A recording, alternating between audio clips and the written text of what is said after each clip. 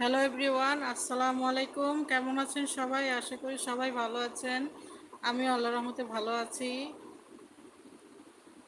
ইউটিউবে লাইভে আসলাম।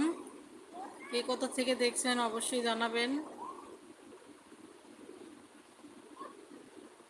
এখন থেকে প্রতিদিনই লাইভে আসার চেষ্টা করব। আশা করি সবাই পাশে থাকবেন।